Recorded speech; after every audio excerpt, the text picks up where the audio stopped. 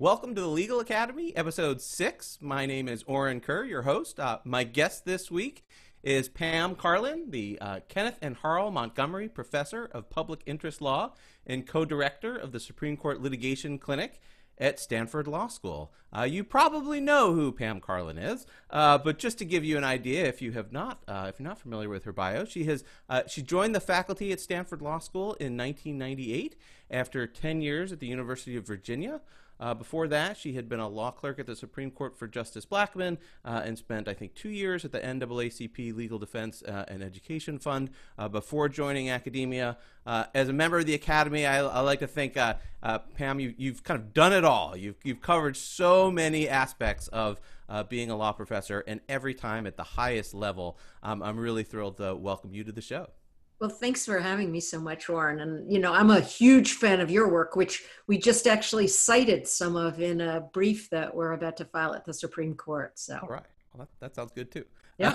well, thank you. Uh, so I, I, wanted to start with the, the fact that you have done all of these different things and just to sort of, you know, raise a couple of them. Not only have you written, you know, almost 100 law review articles, including a Supreme Court Foreword and sort of dozens and dozens of prominent uh, major articles on constitutional law and voting rights. Uh, you have litigated cases at the Supreme Court at the highest level, uh, including the Bostock versus Clayton County case, which uh, major victory that just came out a few days ago. For those of you that may be watching this at, at a later time, um, you are a co-author of several prominent case books. Uh, you have served in government. You have done all of these things in the legal world, and sort of in, in, in different aspects of this job uh, as a law professor. And what I want to know is how do you see these things fitting together? Um, you, do you see sort of see one of them as a primary role and others as sort of fun things to do on the side? Does it all kind of work together? When when you sort of think about how to spend your time, how, is it all just whatever's interesting, or is there a theme or a rhyme and reason in terms of which which part of your time you're going to spend on these different projects that you do? So I think that the things are interlocked, and I would say, especially at the beginning of your career, they have to be because you don't have the intellectual capital and you don't have the time to both learn the subjects you're going to be teaching uh, in law school and writing about in law school, and then doing litigation that's totally unrelated to that or the like. So, you know, when I first started uh, teaching, I was coming out of a job litigating voting rights and Title VII cases uh, on behalf of the NAACP Legal Defense Fund. And so the early litigation work that I did when I went into academe was almost entirely work that I either brought with me from the Legal Defense Fund and kept working on, or it was work that came to me uh, through people I knew who were also doing Title VII cases or also doing uh, reproductive rights cases because I clerked for Justice Blackmun uh, and the like. I mean, as I've gotten more comfortable with and developed more, um, you know, just more knowledge, uh, I now find that almost all of the litigation I do, I would say 90 something percent of it easily, I do through the Stanford Supreme Court Litigation Clinic. And so it is part of my teaching mission uh, to teach students how to write persuasive briefs uh, and how to think strategically about the Supreme Court. And so you know, I, I, I, like to think that each of these things feeds on the other, that I get ideas for, for what I'm going to write, uh, both from my classes and from my litigation, and I get ideas about how to litigate from the way I've been teaching, uh, uh, been teaching, you know, issues that also arise in the litigation. Let me focus a little bit on your articles you've written by my count, by my quick Westlaw check, o- almost 100 articles, and probably there are many that are not on Westlaw. Uh, uh, but do you have favorites among the articles you've written articles where you look back and you go, yeah, I really nailed this one? Or, and then the flip side of this, do you have certain articles that you think, yeah, that, one didn't didn't pan out so well in retrospect? And to the extent you kind of can look back and see which ones you you're most proud of or maybe least least proud of, like, is there a theme as to how you got there? Or is it just you sort of put put it all out there and then later on you figure it out which ones maybe work better or, or less well? Yeah. So if I had to say, like the articles that I think I'm proudest of are ones that come up with an idea that then can play out in a in a in, in other people's work as well. So um, I would say the three that did that the most uh, are early articles in my career, but maybe the later articles will have that effect uh, as they as as pe- more people read them and like. But one of them was an article called uh, "The Rights to Vote," which laid out a taxonomy of how to think about voting rights cases, that they're first generation cases about the right to participate, cast a ballot, and have it counted. They're second generation cases, which are really about the aggregation rules, figuring out who's going to win. Districting is, a, as an obvious example of that. And then there's a potential third generation of cases that are really about governance issues that are not so much about my ability to cast a ballot or my ability to elect the candidate I prefer, but how the overall system uh, is organized. Um, and the one person, one vote cases actually turn out in large part to be about this governance idea, not about the other two, because really what people cared about was the disproportionate uh, number of rural legislators or legislators from underpopulated areas of the state. So that article, I think, has had a lot of traction because a lot of people now think about the three generations of voting rights. Um, the other election law related article that I wrote like that was when I co wrote with Sam Issacharoff that's on what's called the hydraulic principle. And this is the idea that you can't squeeze the money out of politics. When you squeeze it out in one place, you dam it up in one place, it flows out somewhere else. And that the ecosystem is really what scholars uh, and people who are trying to engage in law reform should think about. And so that article, I think, has had uh, a major effect. People talk about the hydraulics of all sorts of election law related things now. Then the third article was actually, I had a period of time where I was writing a bunch of criminal procedure articles, constitutional criminal procedure articles. And this is an article that was about uh, whether you should level up or level down as the way of ensuring equal protection in criminal procedure. Um, and I think this idea of leveling up and leveling down comes out in a lot of different areas of law. Um, so those are ones that, you know, I look back on those and I think, boy, you know, every time I look at those articles again, I really like them. Um, and I've written a series of articles that are about what I call the stereoscopic view of uh, the 14th Amendment, that the Equal Protection Clause and the Due Process Clause actually inter interweave with each other and they kind of mutually support each other. And there are a number of cases and doctrines that lie at the intersection of the two. Articles I'm not so happy with. Um, sometimes I agreed to go to a symposium and I didn't really have a huge amount to say. And so I had to come up with essentially the equivalent of a case comment. And I think some of those, you know, I look back on them and I don't think there's anything deeply wrong with those articles, but I also don't think to myself, 10 years from now, anyone will find this article useful or interesting or, or helpful. So, you know, I think things that I wrote uh, on command, on commission sometimes, are less good than the things that just spontaneously came to me. And then i thought oh uh, i'll um, i'll i'll i'll publish this idea that i've had. A, a lot of uh, professors especially junior professors have uh, described um, the experience of writing an article and going back and forth between thinking this is terrible and this is great I'm so happy with this. This is a disaster, and that's sort of the, the internal monologue about how their own article is going. In in those examples, did you sort of know as you were writing them, like in the great articles, like I've got something, or in the article that was just the case comment, like you know, this is just why am I doing this? Did you know at the time, or is it in retrospect that you get the reaction of the, that you're talking? Well, I knew at the time. So, for example, the second article I wrote really was too closely tied to a couple of cases to really be an interesting article. Um, and occasionally I just, you know, I, I didn't really have an idea that was ready to write, but I had to write something for a symposium um, or, uh, or for a lecture that I'd agreed to give.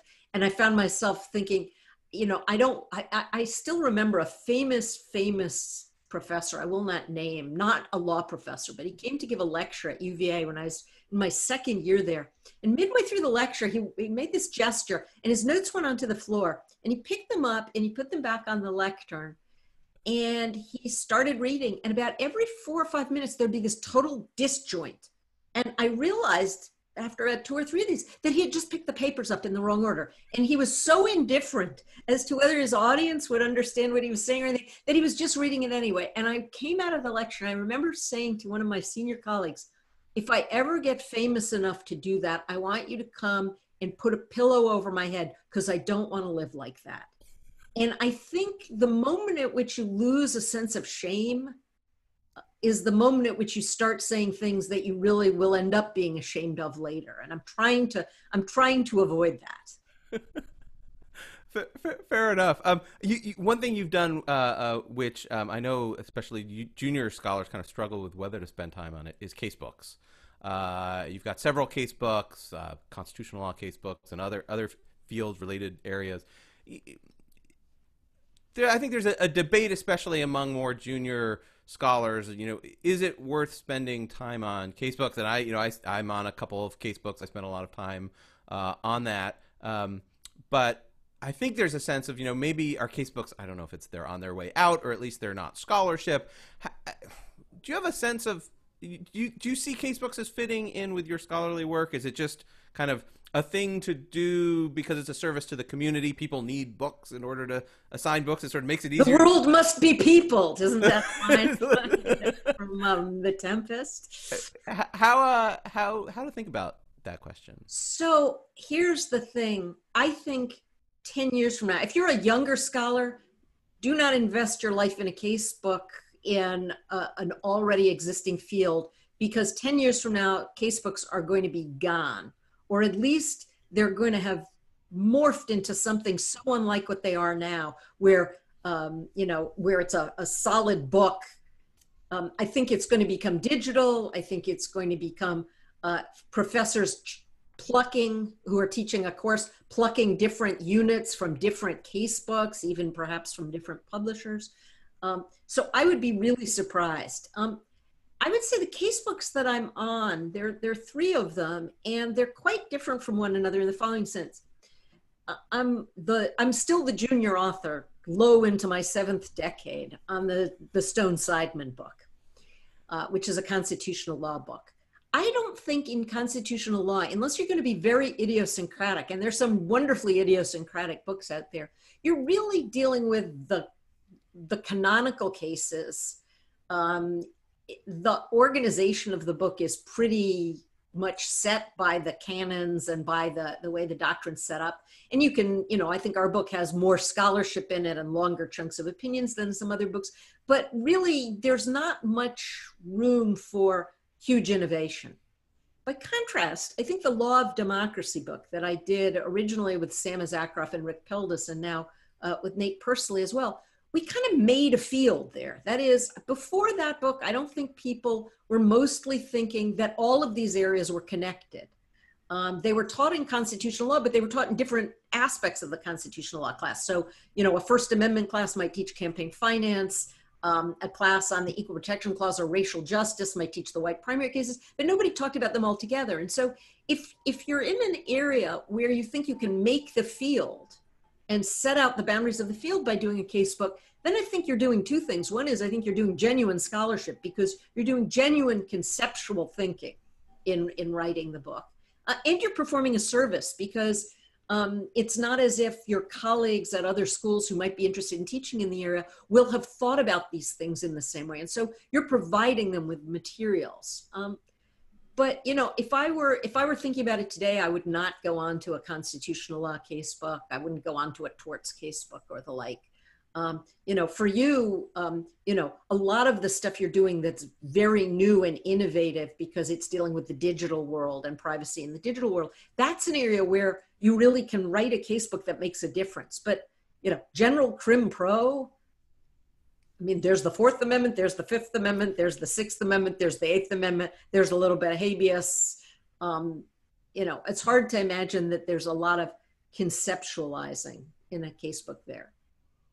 And then do you, does that carry over to treatise work, which I, I am correct me if I'm wrong. You're not you're not also do no no I I um, have not done I have not done any treatise work uh, and I do not intend to do any treatise work. And do you have sort of a similar sense that maybe but, the you know their treatises like... are really useful in my litigation. I'm not sure they're super litigate useful in my scholarship, but they're super important, like the restatements as well in litigation. It's really useful but but I, I, gather sort of not not scholarship from the standpoint, or at least hard to make it one that's really deeply about scholarship in the same way. Well, I, I, think it is scholarship, you know, of, of of an important sort. It's an old fashioned kind of scholarship, and it's not the kind of thing to the extent that you and I are talking now about what would be useful to people in the on the uh, upward uh, slope of their careers, it's not something that most of them can do at that point because you don't yet you don't really yet know enough to write a treatise on anything other than a very narrow issue. Yeah, fair.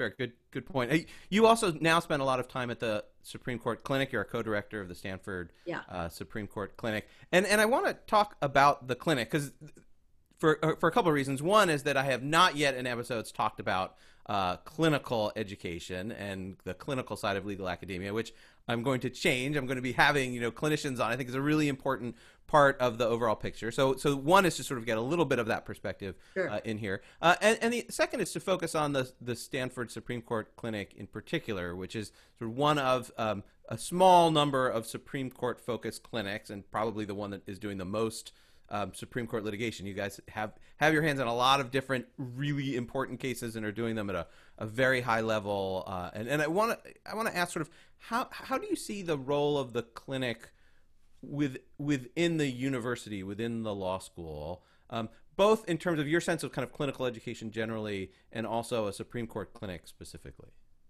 Sure. So um, on the Supreme Court clinic specifically, let me do that first and then talk about it more generally. One of the things that um, Jeff Fisher always says to the students at the very beginning of the quarter is, you know, people out there in the world might think, how can it be that second year and third year law students are litigating cases at the Supreme Court? Uh, shouldn't you be dealing with, you know, traffic tickets or misdemeanors or something like that? And he always pauses that and that, at that point says, you need to understand, like after your first and second years of law school, the only thing you know about is litigating Supreme Court cases, right? I mean, that's what all of the case method and reading all these appellate cases kind of gets you in the habit of do gets you in the kind of mind habit of doing. And the idea of like actually talking to a client is far more daunting, I think, to a lot of students than talking about whether the Supreme Court uh, should stick with an issue or should abandon stare decisis or whether it should extend the Fourth Amendment in this direction or the Equal Protection Clause in that direction. So, it, it, in, an odd way, the students are, are perhaps more equipped in some ways. And those of us who are uh, non clinical academics are more equipped to teach them how to litigate the Supreme Court than teach them how to go into Superior Court.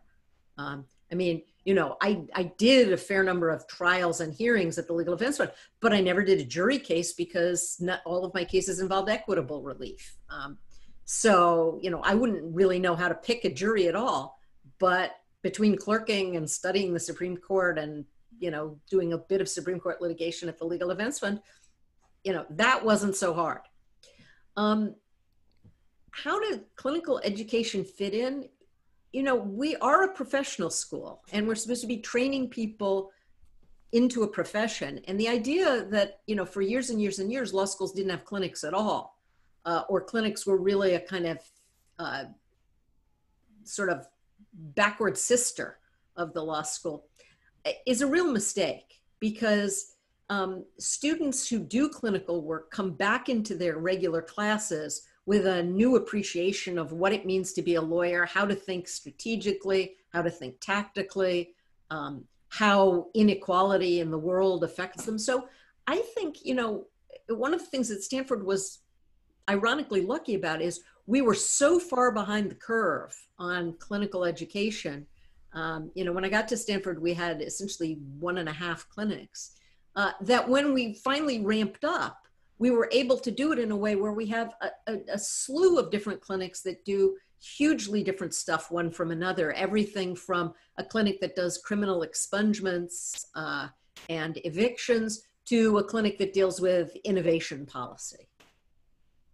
Do, do you have a sense of um, how to grapple with issues that uh, on past faculties I have been on, specifically, I should say, um, you grappling with questions of equality between clinicians and non-clinicians, where you know what are the standards for hiring, or what are the standards for tenure, um, having tenure for clinicians, voting rights. There's, there, my sense is that historically, you sort of have like the um, podium faculty or the non-clinician faculty that were there, and then clinicians arrived and are doing some things that are similar, some things that are different, and that there's been a little bit of a kind of a uncertainty or struggle over how to fit in the various components within a faculty. Um, do you have a sense of how best to do that? Is it just flat equality? It's all the same, or are there differences? And how to how to go about kind of you know whenever you introduce a difference, you've got to kind of figure out how to fit that together on a on a cohesive faculty. How how should schools do that?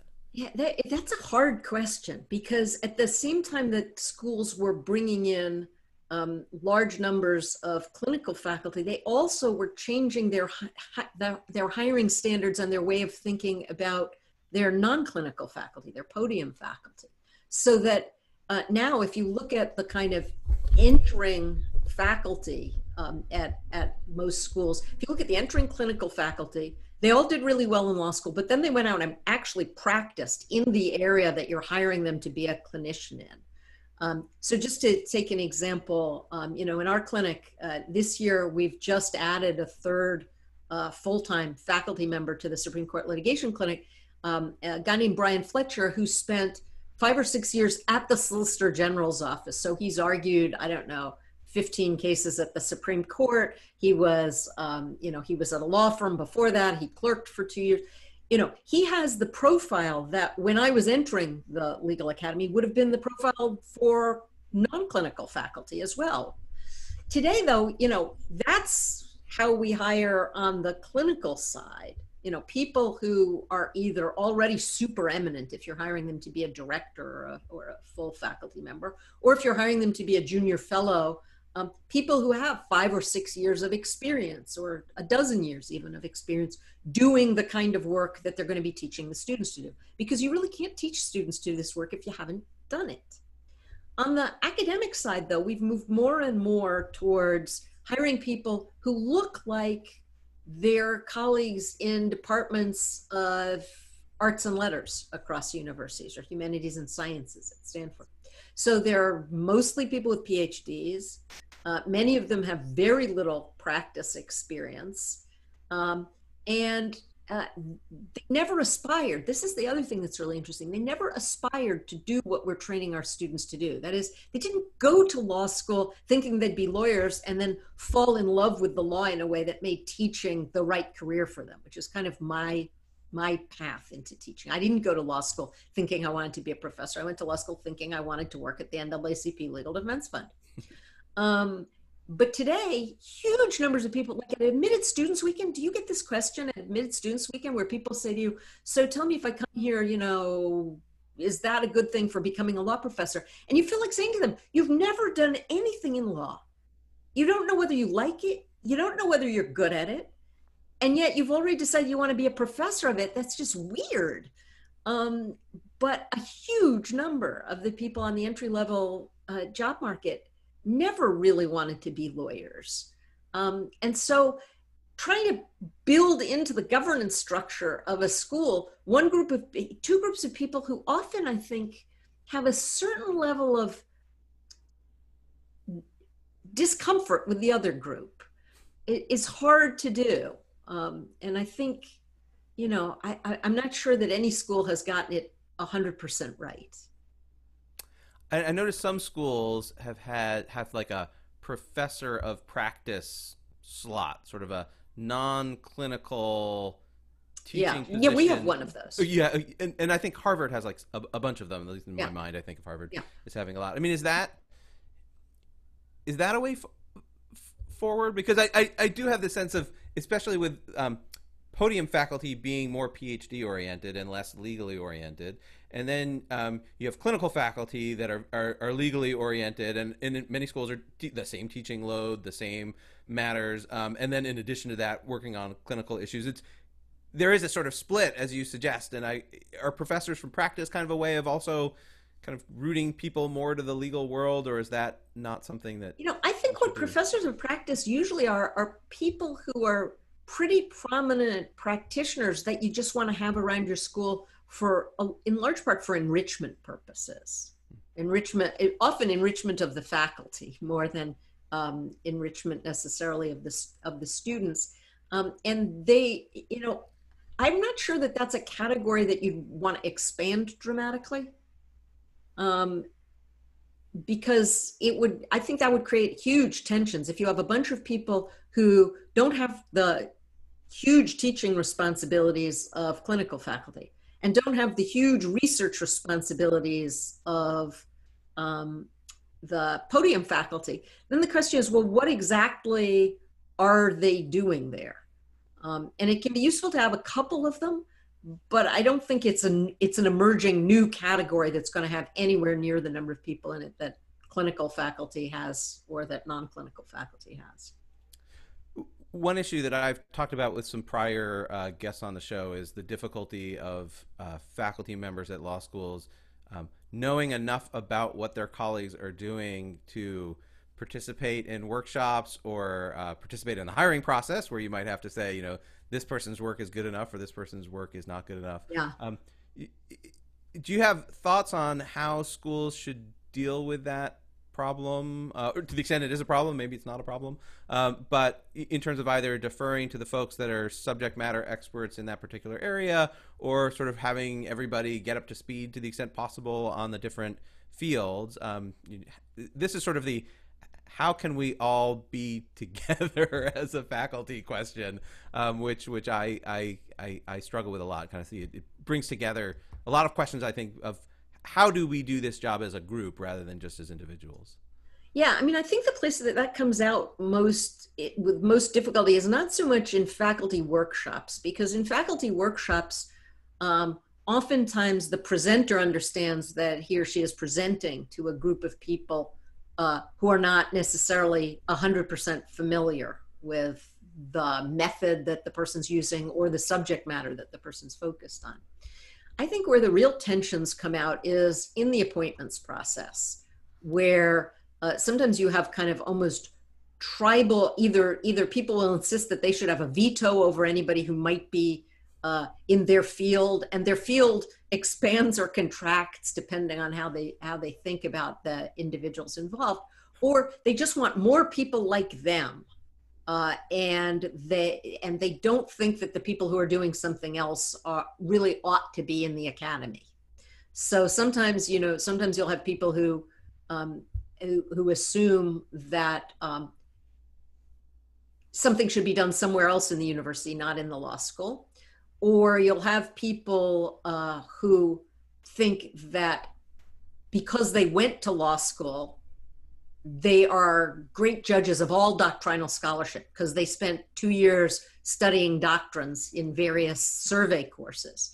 Um, and so those two groups, I think there's a lot of tension between them. Um, and in periods of time where faculty slots are, are scarce, there can be a lot of tension over should we hire another person doing X? And there's some areas, it's really interesting. There's some areas that for the entire time I've been in the academy, schools have been searching frantically to try and fill. And there are other areas where there seems to be just an explosion of great young talent. Um, and it's not clear to me like what what accounts for that. But it means, for example, that if you are, you know, in, in constitutional law, everybody on your faculty really kind of feels like they're capable of judging constitutional law scholarship. Um, even if what they're really doing is being sort of like intelligent lay readers almost of it. Um, whereas, you know, at the other extreme, when it comes to certain kinds of quantitative scholarship, most of the people on the faculty think, well, I can't judge this stuff at all. So I'm going to leave to the the quantitative people the you know the judging of the scholarship and when it comes to the method that's probably right but when it comes to whether the question that's being answered is an interesting or important one i think that's probably mistaken i think everybody on the faculty should be capable of thinking about is this a question that deserves a fair amount of time? Is it an interesting question that's being answered? Do, do you have a sense that something is lost as we move to a more PhD oriented world in that it's it's interesting just going back to your answer a, a few a few minutes ago um, to how you see your work fitting together and often kind of following from your practice experience at the NDA, uh, NAACP Legal Defense Fund, um, you, you, know, you, you had a set of problems that you were interested in, that you were exposed to in a community that you were that you knew, and, and it seems like your scholarly ideas were in part, at least especially at the beginning, kind of from that. And I, I, had a similar experience where I was at the Justice Department in the computer crime section, seeing all these legal issues and thinking like, "Wow, this is really cool. I should go write about this stuff." Um, and I think you know, I was hearing Tim Wu talk about at, at Columbia his experience, and a lot of his ideas came from some problems he worked on when he he was junior. It seems like a, a good number of people who have legal practice experience end up writing about or inspired by issues they saw. And then when you switch over to the uh, a world in which more and more people have PhDs uh, uh, and and for which the practice part is narrow, that you know are are we losing that connection from a scholarly standpoint in a world where we have so many people that are coming from PhDs or are spending you know five or six years in whatever program they're taking, sort of getting ready to go on the market, less less focused on practice. So I have two worries about that. One is that, you know, the ability to keep practicing for me has spun off huge numbers of ideas. So it's not just the things I learned when I was at the Legal Defense, because hey, the Supreme Court got rid of Section Five of the Voting Rights Act, so I'm not writing about I'm not writing about that anymore. It's kind of like Dead Poets Society, you know, rip that out of your book. It's not law anymore. Um, you know and and and and the likes. But but i get ideas for stuff from the cases i'm working on on on now. Um and i worry that if you really are primarily rooted in another discipline but you're in a law school so you have to be spending a bunch of time teaching first year contracts or first year torts or corporations or whatever that it's not going to generate ideas for you and there's a limit to how long you can live off the intellectual capital you developed in graduate school in a cognate field. Um, and so, you know, after they've turned the dissertation into a couple of articles or into a book, what do they do next? Um, and I think some of them have been really successful at finding other things to write about. Um, but some of them just kind of get tenure and then retreat into their other discipline in a way. So there, there's that fear, which is where are your next round of ideas going to come from? And are they going to be law related in some way that makes it worth it for a university to have given you one of its billets in a law school? The other thing that I worry about is um, a lot of what we're doing, as I said before, is being a professional school. And we are training people to do something important and useful which is to be lawyers. And if you if you're not interested in that at all, then the temptation will be to teach your classes in a way that is much more like undergraduate classes than it is like law classes. That is, it, it's lecturing about some area of law that interests you, but not really trying to train the students to be lawyers in some way. Um, and, and that worries me because I think that then means that a huge part of that burden moves on to the clinical faculty. Um, because, and, the other thing about this, I should say, this has probably been your experience as well, is there is a value, a really important value to having junior faculty who are closer in a variety of ways to the students than senior faculty can be um, and who serve who serve a role in the institution that involves the students modeling themselves on those younger faculty in various ways. And if the younger faculty convey to the students that, well, of course, if you were smart, you'd go into teaching, only people who can't teach practice. Um, you know, it's the kind of the flip of the those who can do, those who can't teach. It's those who can teach, those who can't do. Um, that's not good for the culture of the school. Do, do you have advice for law students who are interested in becoming professors. Uh, this is maybe the, the student sure. who shows up at your orientation and says, "How do I become a professor?" Um, practice, practice. like what? How, you know, in terms of either um, working with a professor or f- trying to write when in law school, or how to think about um, developing a scholarly career. Do you have when students come to you and ask you, you know, what what should I do to become a law professor? What do you tell them? Well, one thing is they should read a lot of legal scholarship of a kind that interests them. And, you know, I'm pretty Catholic in my tastes about that. If you want to be a law and economics person, read law and economics scholarship. If you want to do crim pro, read crim pro scholarship and see whether the scholarship that's being done in the area of law that interests you is something that you might be interested in doing yourself. Um, because I think, you know, for especially for students, the most visible part of being a professor from a student's point of view is getting up in class and teaching. Um, you know, Harold Koh had this line once where he said something like, you know, the weird thing about our job is the thing we do most in public is the thing that our colleagues know the least about our work on. And the thing we do most in private is the thing that our colleagues know the most about because they read our scholarship. But for students, it's exactly the opposite, which is I think when students think about being a professor, they think, oh, this would be a great job because you're in class like six hours a week. Um, you've got the summers off. You can think about whatever you want to think about and they don't they don't really think about how much do i want to do legal scholarship um, and the thing is this is greatest job in the world if you like doing legal scholarship but if you don't like doing it it's the most painful job in the world because there'll be six or seven years of super anxiety while you're trying to get tenure. And then if you get tenure and you stop writing, there'll be a lifetime of knowing that your colleagues hold you in vague contempt and think of you as a mistake, right? So you need to figure out do you want to do you want to write legal scholarship? Um, and the best way to figure that out is to read legal scholarship and to try doing some. While in law school, you mean that? yeah, you know, writing a student note. I don't mean you know. I mean, it, you know, one of the things you've probably seen this as well is you now look at people who are on the teaching market and they have more publications than they would need to get tenure. But none of them is really great because they just keep cranking out like every student paper you can get published somewhere. Um, and so i don't really feel like you need to write like five articles while you're in law school. Um, but you should try writing something just to see do you like writing? Because not everybody does I, w- I want to um, talk this is probably the last last set of topics on on, on sort of um, faculty questions a lot, of times faculties grapple with um, how large should we be? Should we be expanding the faculty, assuming we have the, the means to do that?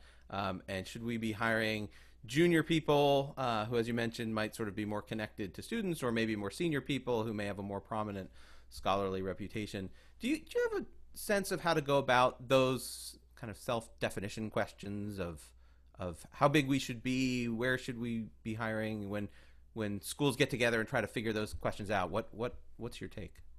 so the how big you should be I, I don't really know how to answer that because you know there are some wonderful very small faculties and they have the great advantage that everybody knows what everybody else is working on and everybody uh, feels connected and invested in everybody. And then there's some great super large faculties where people don't know each other at all. I mean i'll never forget um, the year that i visited at harvard. I was walking across the campus with a junior faculty member and a senior faculty member was coming who was in the junior faculty member was in the first year of teaching then maybe the second. And a senior faculty member came the other way and i kind of uh, oh no i was walking with the senior faculty member and the junior faculty member was coming towards us and i waved and said hi to the junior faculty member and the senior faculty member said to me who's that? And i realized they just didn't even know all of their junior colleagues. I mean you know so that's a problem. Um, so on the size i don't i don't have a strong view one way or one way or the other. On the on the kind of demographic profile of the faculty i think it's really important to have junior faculty who throw themselves into the institution in ways that senior faculty don't i think you know any it, it, there's there's all this research on you know like how many points different traumatic events in your life can have and it's like death of a spouse is like 100 points death of a child's 100 points you know um, stubbing your toe is like 0.1 point. I think moving, picky, selling your house, buying a new house, moving to the new house, and getting assimilated in it is a pretty stressful thing. And you know, I like to think that I've thrown myself into the institution here at Stanford, but in comparison to how much I threw myself into UVA, I'm not sure. Um, and I think on average, that's probably true for most people that, you know, the first school that somebody's at, they will throw themselves into in a way that either because you don't have the energy again or because now you're much more Im- embedded in your scholarly network of people or because now you've got kids or a spouse or you're just old and tired whatever it is people don't throw themselves into places again and again and again. I mean i remember bill stuntz who was you know dear dear friend and probably the wisest person in our generation in legal academia once saying to me he thought anytime somebody went to their dean and said you know give me x or i'm going to leave the dean should almost always say we have really appreciated having you here um, because his view was losing your faculty after the point when they've done their best work is not a huge cost to a university on the other hand deans seem absolutely obsessed with retaining their faculty. Almost all deans do it at almost any cost. Um, and I think that's a mistake. Um, you know, one of the reasons among so many why I never wanted to become a dean is I didn't think that I was capable of saying to somebody who came in and said, Give me less teaching or I'm going to leave. My reaction would be, If you can find a place that the teaching load is more to your liking, go with God, you know, um, because I don't think that there are very many faculty where it would be a tragedy for a school to lose them. And almost all the people where I think it would be a tragedy, it's not because of the person's eminence in the outside world, it's because the person is critical to the way that school operates. You know, if I if if if if I was if I was in a lifeboat with all of my faculty and I had to figure out like who do you throw off the lifeboat? You know, who's the cabin boy you're going to eat um, you know i think that there are some people who have big scholarly reputations who would be off the boat before some people who constantly pick up the administrative work around the school that needs to be done are incredibly wise are great readers of other people's work and commenters on other people's work i mean those are the people that you most need to keep and i think a lot of those are people that institutions grow themselves rather than people they go out and, and pluck from another school.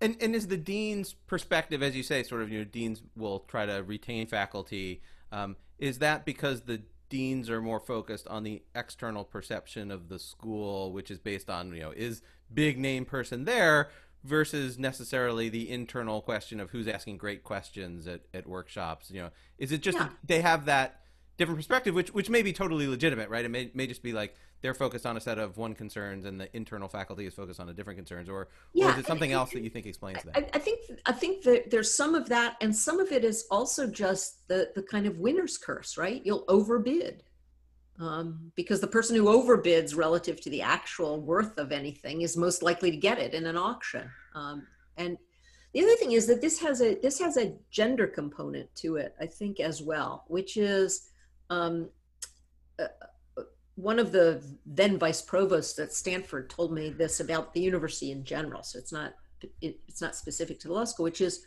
um, women do not go out and get offers from other schools in an attempt to leverage better treatment at their home institution. So if they get an offer from another school, they either take it or they turn it down, but they don't generally negotiate over it.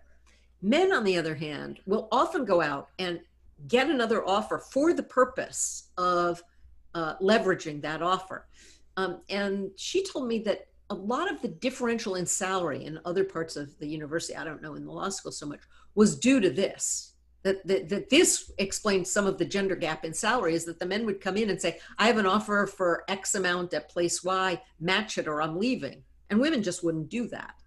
Um, and I think, you know, there's been so there's been some recent um, blog traffic over you know whether the requirement in law the, the kind of conventional requirement in law which isn't true in other disciplines that you have to do a full scale visit before you can get a lateral offer has effects on people's mobility that's differential for um, either men who have wives who are prepared to move with them versus women who don't have uh, wives or husbands who are prepared to move with them so you know so it's all very difficult. And this is why you know i'm, I'm so committed to the idea we should do entry level hiring but frustrated by the by the fact that what now seems to happen um, are you a baseball fan? No not really. Oh, well, then this this analogy will not interest you as much as it might interest those of your listeners who are. But for a long time, um, there in the baseball draft, they would draft a lot of high school pitchers who would turn out to be not that great vis-a-vis college pitchers with statistics that weren't as good. But the college pitchers were in were competing in a better league in a way. And here's what the worry is. Old style candidates for teaching jobs, people who have had a little bit of practice experience, don't look as impressive on the entry level market as their PhD counterparts. Mm-hmm. But if you look at who are the people five and six years into their teaching careers in law schools who are getting lateral offers and moving around, an awful lot of those people are not the PhDs, they're the people who had a little more practice experience.